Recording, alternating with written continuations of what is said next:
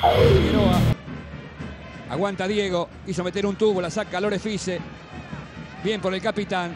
Tremenda jerarquía. La juega por bajo para Ricardo. Lo tumbaron. Le falta. Siga, dijo. Le mete la Rabona. Ricardo Vera. Siga. Ahora para el juego porque quedó tendido.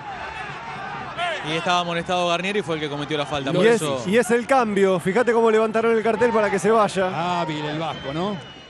Antes que lo fleten, dijo, vamos a hacerlo rápido. Levanta el brazo Lorefice, muy lastimado. ¿eh? Para mí jugada amarilla. Ahora, Castro no ha decidido. Adentro el número 17, Francisco Gral. Bueno, Castro lo dejó con 11 Atlético Tucumán y Asconzábal justo decidió reemplazarlo.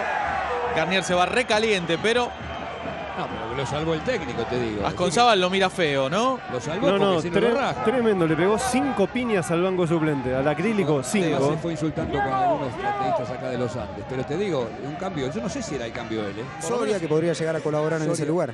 Y ahí está lo de Garnier. Va al banco, pum, pum, pum, pum. Las contó bien, Frete, 5, ¿eh?